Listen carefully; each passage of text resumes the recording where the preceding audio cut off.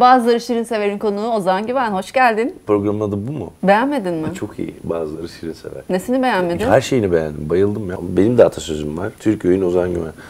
Sen de öyle bir program yaparsın Bakacağız. değil mi? Filmin vizyonda. Dizin en çok konuşulan ve izlenen dizilerden biri. Ee, maşallah her şey çok güzel görünüyor ama sen hayatının nasıl bir dönemindesin? İşte dizi başladı. Dizi ilk sezonda 12 bölüm çektik. Sonra hiç ara vermeden ben saçlarımı kazıttım. Arif Bey 216'yı çektik. O bitti. Gerçekten böyle bir 10 gün falan ara vardı. Tekrar diziye başladık. O yüzden biraz yorgunum ama iyiyim. Yani e, çıkan işlerden memnunum. En çok hangi canlandırdığın karakter şu an böyle baskın sence? Robot 216 mı yoksa Can Manay mı? Onu hissedebiliyor musun ve dışarıdan bakınca ne görünüyor? Hani birbirinin önüne geçiyor mu o karakterler? O ikisi de ayrı türlerde ve ayrı mecralarda olduğu için bence öyle bir durum yok. İnsanlar en çok şeye şaşırıyor. Hala aa 216'yı Ozan Güven mi oynuyormuş diye hala e, yeni öğrenen seyirciler var. Ben de onlara çok şaşırıyorum. E, 15 sene önce çekmiştik çünkü Gora'yı. 16 sene oluyor hatta. Ama ikisi de biri sinemada oynuyor, birisi internet dizisi. O yüzden de böyle bir e, benim de kafam karışmadı açıkçası robotu da daha önce oynadığım için hani Kimler geldi, kimler geçti, hiçbir psikopat karakter Can Manay kadar sevilmedi. Ee, böyle bir gerçek var kabul edelim ki. Niye sevildi bu adam? Bir enteresan bir kere değişik bir karakter. Yani televizyonda izlediğimiz e, karakterlerden daha farklı bir, bir psikiyatr. Kitapta biraz daha sevimsiz bir adamdı Can Manay. Daha iticiydi. Onu birazcık daha vicdanlı ve birazcık daha sevilebilir bir hale getirmek için ben de biraz çalıştım ve üzerine bir şeyler yapmaya çalıştım. Uzun zamandır karizmatik bir rol oynamıyordum. Herhalde onun da etkisi var. Bu karizmatik karakteri yaratmak için ne ekledin sen bu adama? Ya aslında kendimden bir şey katamadım. Çünkü ben karizma, normal hayatımda karizmatik bir adam değilim. Aa Ben öyle deme şimdi seni öyle ben. bulan gayet pek çok insan var yani. Ay, dizideki karakterden dolayı öyle buluyorlar canım. Yoksa dışarıda hiç öyle karizmatik bir adam falan değilim ben yani. Ben öyle düşünmüyorum.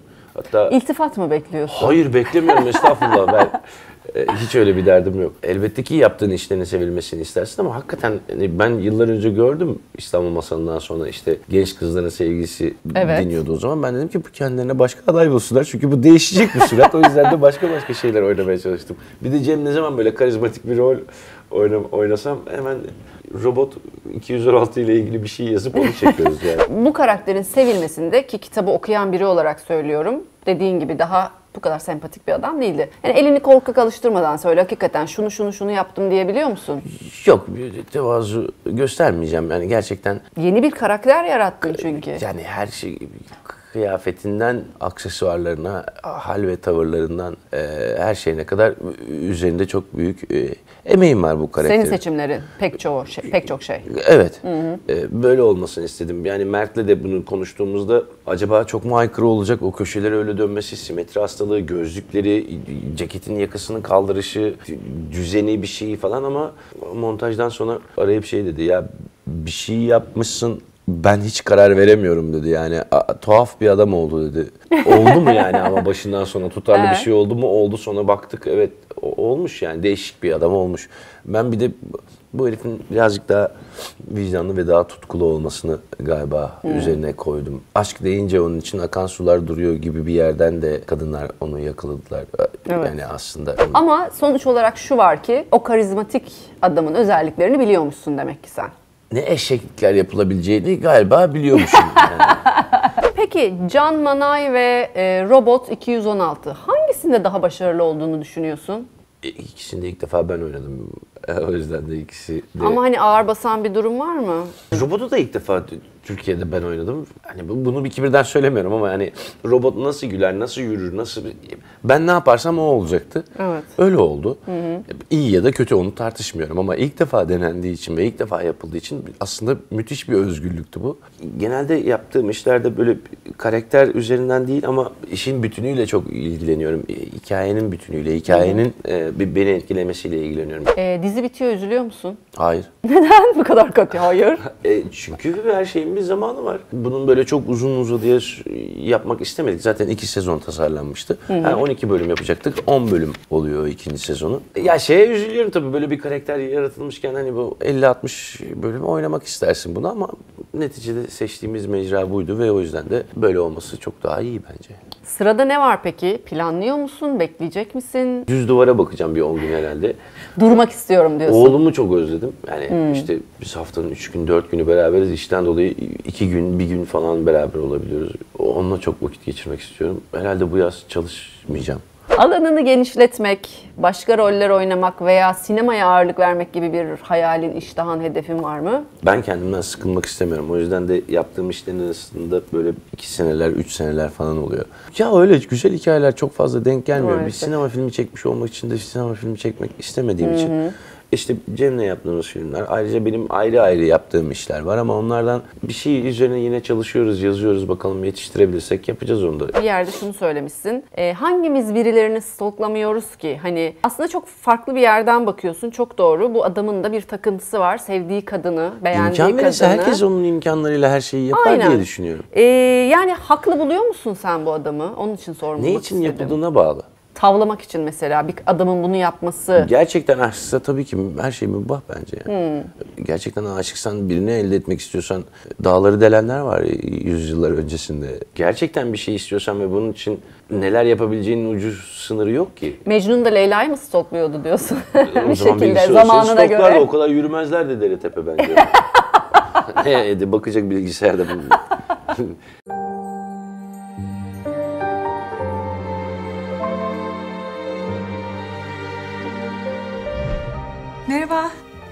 Can ben. Can Manay. Çok memnun oldum Can Manay. Ben de Duru. Durun. Bu kadar sence manipüle etmesi, gözetlemesi, 24 saat kameralarla takip etmesi falan, birilerini peşine takması haklı mı? Yani nasıl Aşkta görüyorsun? kadercilik olmaz ki. Yani kadere bırakamazsınız aşıksanız. Günün bir yerde bir köşede çarpışmayı mı bekleyeceksiniz sokakta? Yani herkesin kendine göre bir karakteri huyu var. Bazıları çekilir köşeye fark edilmek ister. Bazıları köşede her baktığı yerde durur. Bazıları hiçbir şey yapmaz. Bazıları sevmez. Onu yani her güzel. insana göre değişebilir ama sen sevdiğin 24 saat görmek istemez misin? Sıkılırım ya. Ama işte bazıları şirin sever. Dengeni bozan şey ne?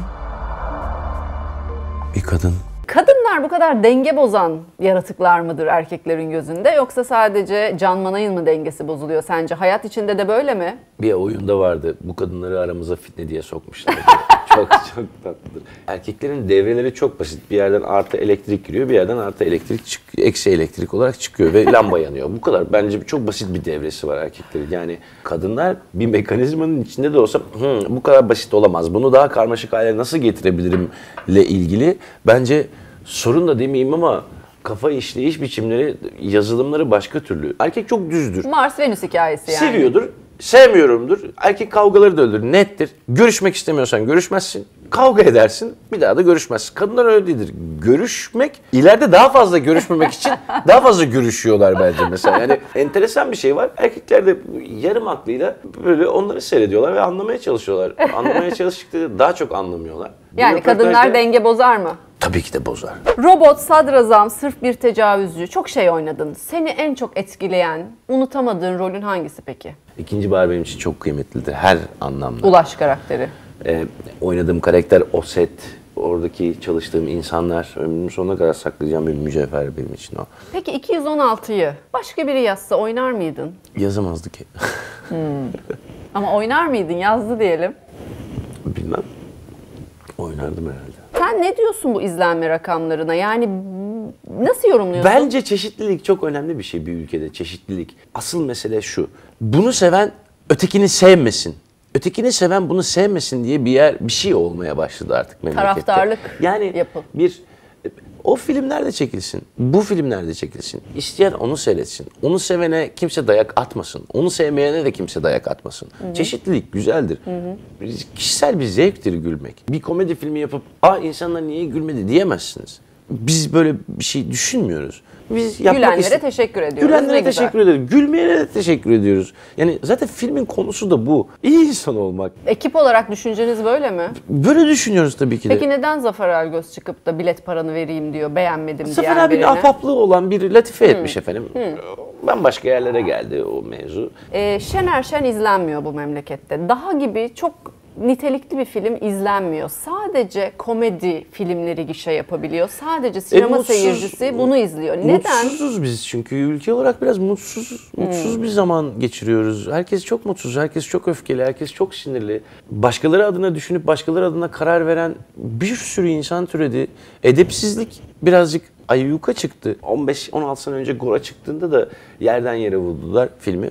Ama 16. senenin sonunda herkes Gora'nın replikleriyle birbiriyle konuşmaya başladı. Ve artık kült bir film haline zaman geldi. gösterecek. Peki başarısızlık sana göre ne? Yani ne olursa bunu başarısızlık sayarsın? Seyrettiğin zaman anlıyorsun zaten başarılı bir iş yapıp yapmadığını. Gözüküyor zaten o. Yani ondan kaçamazsın. Yani hiç kimseye söylemesen de gö- görürsün zaten öyle bir şey olduğunu. O yüzden de benim bir işe başlamam çok zor oluyor. Başlayınca her şey çok kolay ama başlayana kadar gerçekten her şeyi çok zorluyorum. Sette zor biri misin? Değilimdir. Çünkü bütün, işin bütünüyle ilgilendiğim için dahil olmak isterim her şeyle. Sette en büyük lüksün ne? Seni Fon bezi ve minder.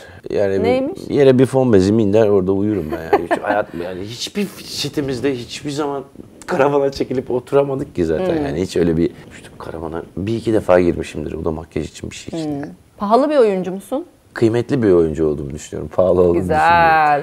Mesafe seven biri misin? E, İnsanına göre değişir. Artık yanlış anlaşılmaya çok açık zihinler ve kafalar. Zaten herkes böyle Çok. dayak atmak için bekliyor. O yüzden de artık daha dikkatli olmak zorundasın. Yani şunun için soruyorum. Seçebiliyor musun onu? Artık yaşta ilerlediği zaman ve bununla ilgili bir tecrübelerin oldukça evet anlayabiliyorsun. Yanıldığın zamanlar da oluyor ama e, eskisi gibi artık çok samimi olamıyorsun. Ee, Can Manay mı Robot 216 mı?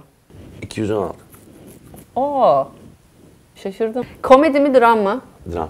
Gişe filmi mi? Festival ya da sanat filmi mi? Çok saçma sorular. Olur mu canım yani hem gişe filmi olur hem sanat filmi olabilir. Sinirlendiniz mi Ozan Bey? Hayır efendim bazıları şiirsem. Yani bir gün kendini Nuri Bilge Ceylan filmlerinde görmek ister misin? Ben oyuncuyum her yerde görmek isterim kendimi. Olabilecek güzel hikayelerin içinde görmek isterim kendimi. Hani demin komedide, dramda sordun ya ben komedi oyuncusu değilim. Ben Cem'le beraber iş yapmayı sevdiğimiz için çalışıyorum. Drama oynamak daha konforlu bir alanım, daha bildiğim bir yer. Komedi oynarken de çok öğrenmeye çalışıyorum aslında. Bundan sonra internet dizisi mi, televizyon dizisi mi? Mümkünse internet dizisi. Dünyanın tanıdığı efsane, ödüllü bir oyuncu olmak ama yalnız olmak mı? Çok aşık, çok mutlu ama sıradan biri olmak mı? Dünyanın tanıdığı ödüllü bir oyuncu olmak. Kendi bile inanmadı. Twitter mı, Instagram mı? Instagram. Kebap mı, sushi mi? Kebap, Çay mı, kahve mi? çay, Kedi mi, köpek mi? ayı, Tavla mı, PlayStation mı? tavla. Ben analog bir adamım. En son izlediğin dizi? Çukur. En son izlediğin film? El Chapo. El Chapo'nun hayatı bu Meksikalı şampiyonun gidip röportaj yaptığı belgesel. En sevdiğin yemek? Yaprak dolması kuru fasulye. Hakkındaki en büyük şehir efsanesi. Atıyorum çok mu öfkeli biliyorlardır seni? Ya da seni çok mu komik buluyorlar? Ben kendim hakkında ne kadar az, az düşünüyormuşum ya. Kendine en son ne aldın? Söyleyemem. Ayakkabıların yeni mi? Yeni Hayır ayakkabı değil almış canım. olabilir misin? Hayır şey e, böyle ufak bir yerde böyle UFO gibi bir şey var böyle yer süpürgesi onu aldım. Şey Ali ile çok eğleniyoruz ona. Basıyorsun böyle bütün evi dolaşıyor. Kendinde hiç sevmediğin özellik? Sabırsızlık. En son ne zaman spor yaptın? 1980 ya sadece yürüyebiliyorum. Yani işte haftanın belli birkaç günü ama Mart'ta başlayacağım spora. Buraya gelmeden önce en son ne yaptın? Yataktan kalkıp duş aldım. Ne yapacağız? Buradan bir şey çekeceğiz. Çekeceksin. Ne istiyorsak onu yapacaksın. Ben de bilmiyorum ne olduğunu. İki tane çekebilir miyim? Buyurun. Hevesli. Soyunun ve... Bu ne ya?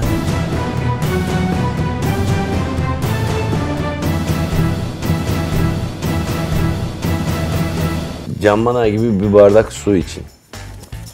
Çok zor. Niye? E çünkü bu çok dolu. E sürekli su içiyorsun ama dizide. Gerçekten ben hiç su içmediğim için gerçekten çok zor bir şey bu. Ya da Öküz gibi su, su içmenin içiyor. nesi zor olabilir? İmkansız. Can Manay gibi su içemedi arkadaşlar. Bu nedir ya? Olmuyor. Role Konsantre mi giremedim. olamıyorsun? ben bir çeşit meyve suyum konsantre olamadım.